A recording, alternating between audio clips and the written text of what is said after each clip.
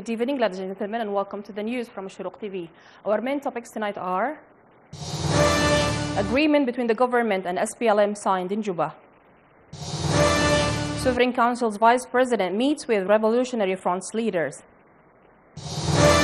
Dagalo reviews peace endeavors while meeting IGAD envoy in Juba.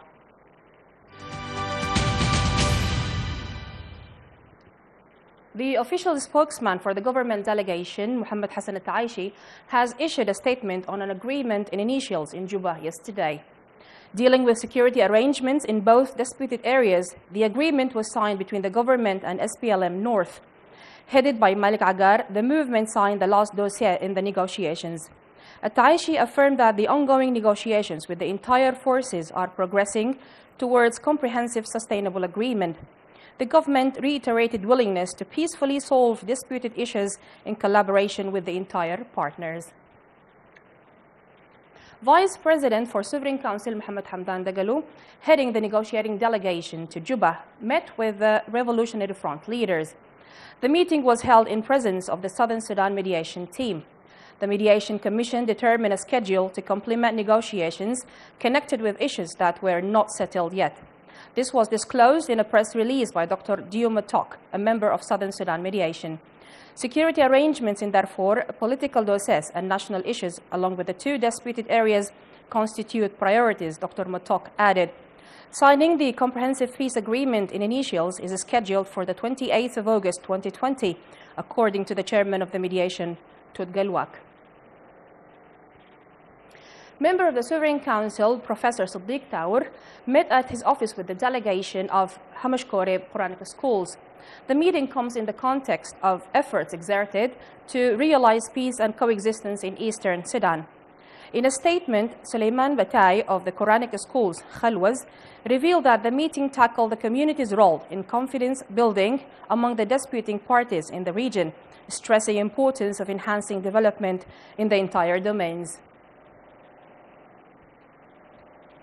An Egyptian aircraft with medical aid on board arrived in Khartoum airport today. The aircraft was received by the Prime Minister's advisor, Egyptian ambassador to Khartoum, and director of epidemiological at the Ministry of Health.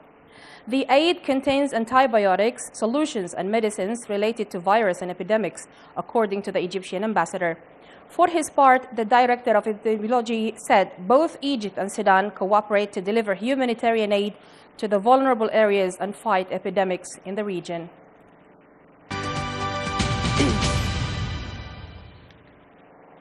The Vice President of the Transitional Council, Mohammed Hamdan Dagalo, met in Juba with the IGAD Peace Envoy.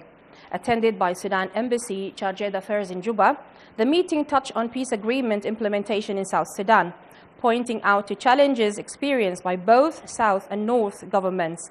Dagalo confirmed that tangible efforts made to attain sustainable peace. He further stressed the regional and international partners' contribution to peace process. A consultation council based in South Kordofan is to be formed within the forthcoming days.